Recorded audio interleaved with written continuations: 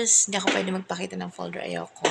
So, ayan, mga yan. So, may coffee, syempre, pampabuhay ng aking dugo, ba At ang aking desktop.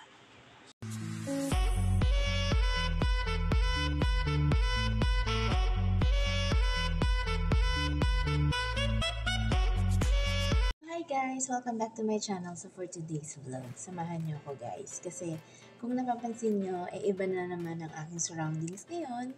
So, yun na guys, iba na ang nature of work ko.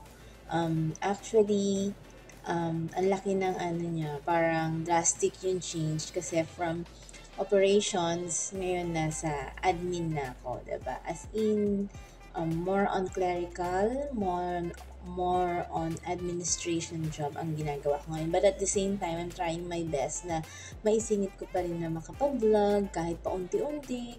Yung mga sinishare ko sa inyo na lifestyle ko.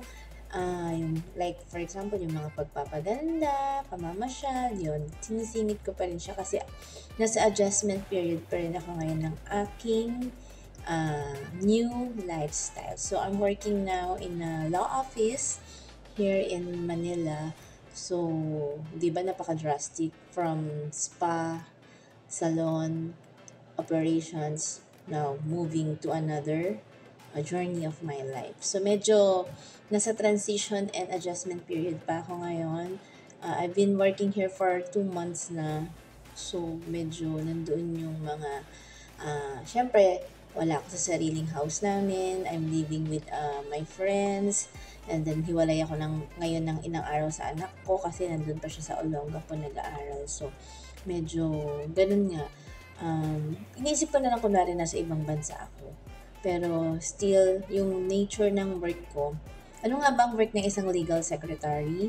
So, ayun, um, marami. As in, um, yung mga legal terms, dun medyo nahihirapan pa ako legal content ng mga pleadings na pinapadala, binabasa, medyo nandun pa talaga ako, as in zero knowledge ako. So, but I'm trying my best, my really, really best na makope up ko, makuha ko, ma-adapt ko, ba diba? Kasi nga, pag gusto mo naman, maraming paraan, ba diba?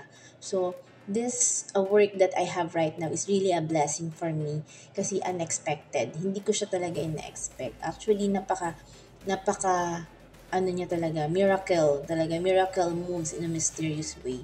Kasi nga, hindi ko talaga in-expect yung work na to. But still, I'm so blessed. Kaya after ko na kapasok at natanggap dito sa work na to, eh, nagsimba ka agad ako sa Quiapo. Yun, yun nga guys.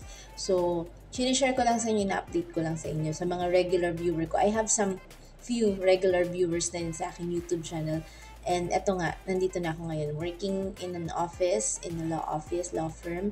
So, more updates pa ang gagawin ko. Siyempre, yung pag-share ko sa inyo ng aking lifestyle, kung paano nga ba maging maganda lagi, maging fresh, kahit nangarag-ngarag, di ba? Laban lang, di ba nga, sabi nga nila. So again guys, thank you sa lahat ng mga sumusuport sa aking YouTube channel. So konti na lang, as in. so promise, I'll do my very, very best na makapag-update palagi sa inyo, makapag-post pa ng mga ginagawa ko sa araw-araw. So, for the meantime, guys, in-update ko lang kayo kung ano yung mga ginagawa ko. So, see you again on my next vlog. Don't forget to share, subscribe, and uh, like my videos. Bye!